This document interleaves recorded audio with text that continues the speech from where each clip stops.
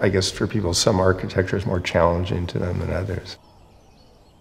I think this sometimes this is very challenging Right, to right, yeah. people. There are no upper cabinets for God's sake. Where do I put my dishes?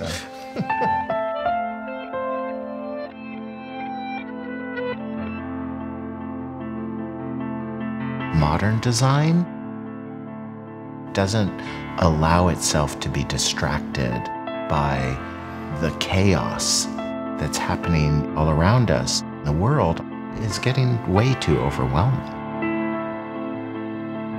As we're in front of phones and computers so much, we want to come back towards something that is a little bit, a little softer. It's still surprising to me how many people are intimidated and frightened of modern homes. There's a sense that modern living means giving things up, like you can't have stuff. And it's not about that at all.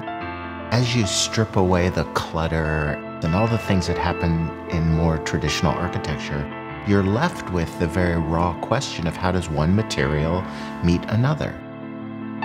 interior to exterior, organic landscape to the precision of modern control. Furniture really came from the architecture we were doing. We would design a house for someone, and then they may have said, well, how about the dining room table or the sofas? Furniture, I personally feel best designing when I can imagine it in a particular space.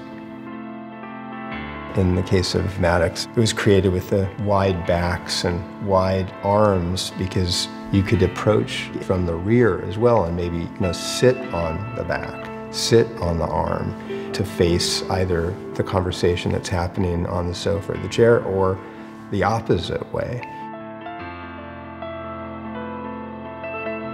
There's still no substitute for physically experiencing a space. To get yourself into something like a modern house may open up your eyes to a way of living that is very different than some of the other types of living that are available to us. The home can be a place of rest, and you end up with this very tranquil sense of beauty